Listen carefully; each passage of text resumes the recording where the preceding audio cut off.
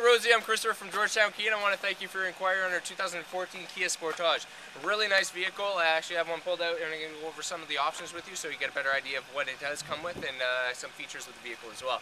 But right now we're having a huge sale going on for this weekend because it is obviously a long weekend and we have to generate some business. So I do want to try and work something out and we'll have massive discounts and savings if you do make your way in 100% you want to take a look, they've actually redesigned the Sportage slightly from the 2013 model, so you can actually see that they have changed up the grill, so it's a little bit more of a checkered look, and it adds a little bit more of a sportier appeal, in my personal opinion. Fog lights are slightly different designed, and then you also do have a lot of your chrome abstracts as well.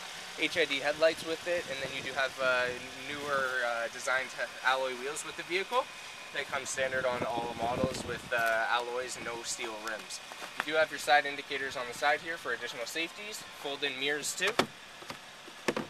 If anything hits it, at least you know you're not going to have to replace it.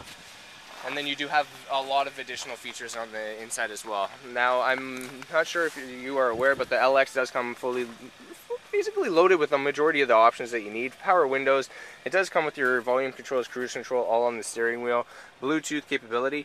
You were inquiring about the LX, and this one is a manual transmission, but I do have an automatic available.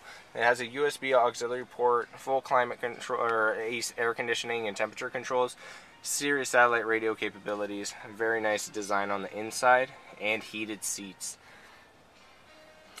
Kia actually has one of the best warranties in the business right now where you are fully equipped with a 5-year, 100,000 kilometer warranty, which is very competitive out there. So you're actually fully covered, oh, basically bumper to bumper on the vehicle.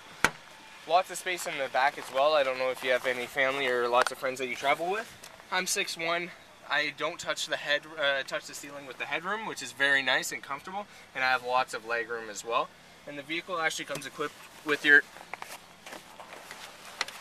60-40 split seats. So this does fold down. You have lots of space for both sides uh, for additional cargo.